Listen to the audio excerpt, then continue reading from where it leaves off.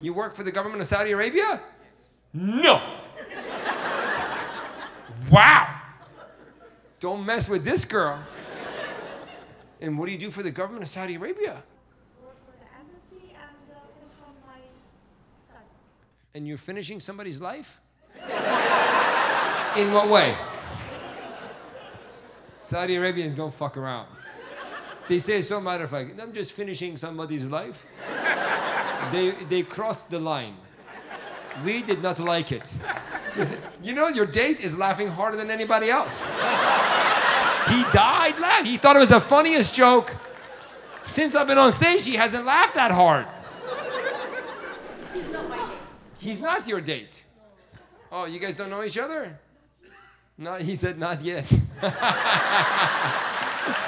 know, Iranian men are suave, baby. She goes, no, no, no, no, he's not my. He, she, she didn't go like, no. She goes, no, no, no, no, no, no, no, no, no. But he's still hopeful. It's like, not yet. I never give up.